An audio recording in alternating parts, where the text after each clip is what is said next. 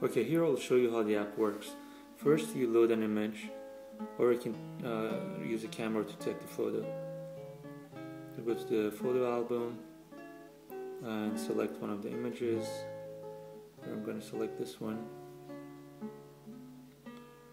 Note that the original picture was in color and everything was in focus.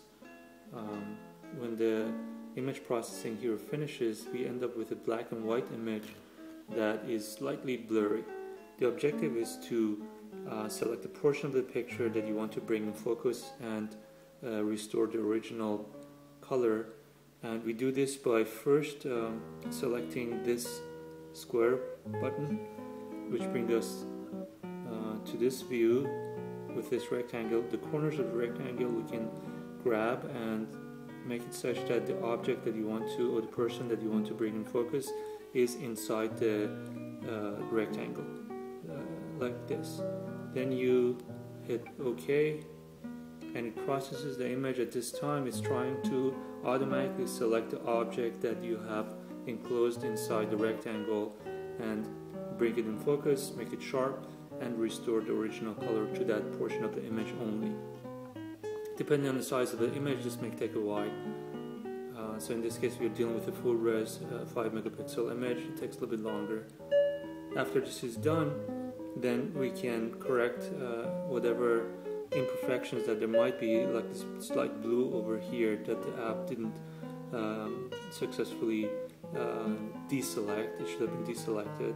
So we try to fix that or this this person here should have been not selected.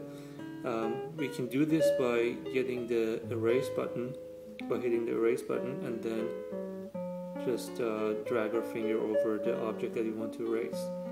By doing this we bring that portion of the picture to the background. Um, some of the uh, portion of the picture you may want to zoom in and correct it that way. You zoom in once you're in the portion of the uh, image that uh, you want to correct you hit um, the pin button to fix the to pin down the image and then you correct the uh, imperfections by just dragging your finger over it.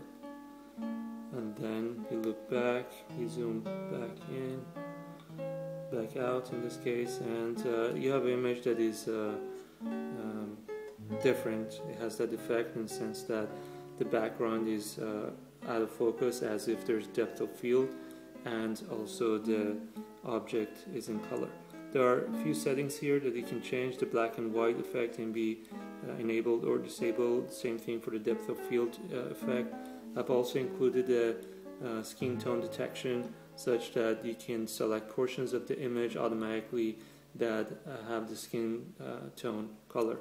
It uh, it's experimental. Play with it, see if you like it. By default, I uh, left it off, and then the sound effect, of course. Um, uh, press up the Facebook button causes the image to be uploaded to your Facebook account uh, in a separate album. And that's pretty much it. You can also save the uh, result uh, into your local photo album. I hope you like the app